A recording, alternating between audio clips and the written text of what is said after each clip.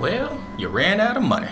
And I told you so, so I have no remorse. The bank's coming on Tuesday to take the house. You gotta leave now.